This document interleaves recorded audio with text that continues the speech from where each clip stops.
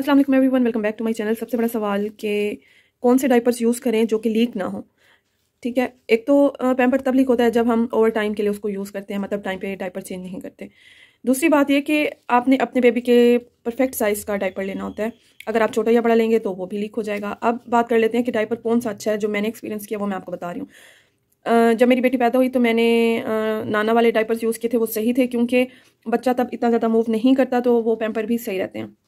और जो small babies के लिए बोना पापा वाले डाइपर्स थे, वो तो बहुत ही गंदे थे, वो आपने कभी भी नहीं लेने। उनकी जो मैजिक टेप थी, वो भी बिल्कुल ख़राब थी डाइपर खुद ही खुल जाता था। अच्छा सेकेंडली डाइपर जो है नाना वाला, वो आप यूज़ कर सकते हैं तकरीबन टू मंथ्स तक बेबी के पैदा होने के बाद। थ्री मंथ से फोर और फिफ्थ मंथ तक मैंने कैन बेबी यूज़ किया था साइज़ टू ठीक है? अब साइज़ टू मेरी बेटी को छोटा होता था थोड़ा और उसकी जो है ना लीकेज हो जाती थी, लीक हो जाता था वो।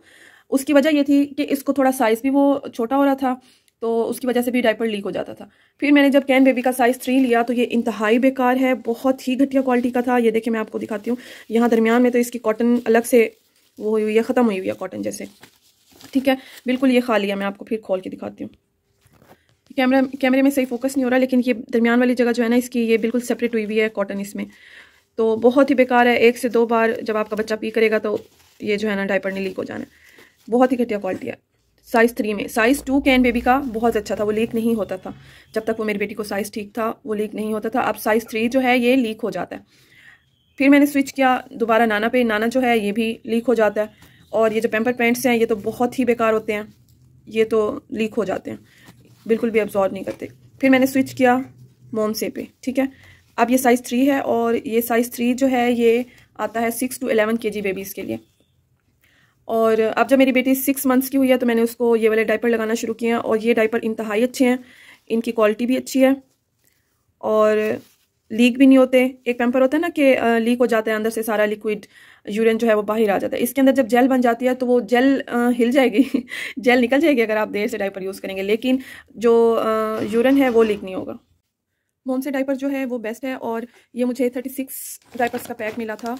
ये आप देख लें थर्टी सिक्स पीसीस थे इसमें और eleven two six two eleven के जीज बेबीज़ के लिए ये है। और ये मुझे मिला था इलेवन हंड्रेड में, लेकिन अब शायद इसके प्राइस जो हैं वो ट्वेल्व थर्टी हो गए हैं, ठीक है? या ट्वेल्व फिफ्टी हो गए होंगे। और मोम से डाइपर जो है ये बेस्ट है? ये आप यूज़ कर सकते हैं अपने फाइव सिक्स सेवन्थ एक साल तक के बेबीज़ के लिए यही वाला डाइपर यूज़ होता है साइज़ थ्री और अंदर से मज़ीद मैं आपको इसको खोल के दिखा देती हूँ। हाँ जी, ये आप देख लें इसकी मैजिक टेप जो है वो भी अच्छी है, पीछे से इसकी यहाँ पे इलास्टिक दी गई है आपके बेबी को फिट करने के लिए।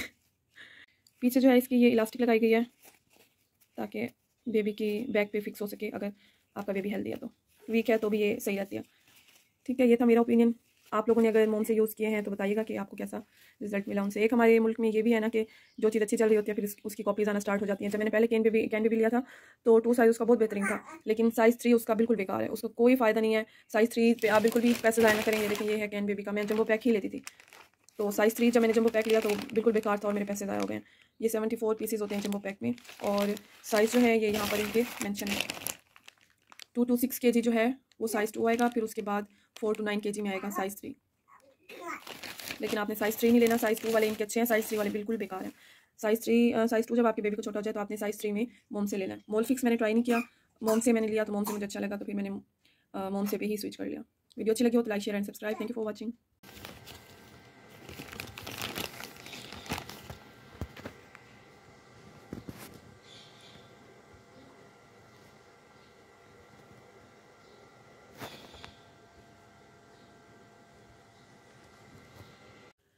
अस्सलाम वालेकुम everyone welcome back to my channel सबसे बड़ा सवाल कि कौन से डाइपर्स बच्चों को पहनाएँ जो लीक ना करें, जिनकी वजह से जो है लीकेज ना हो?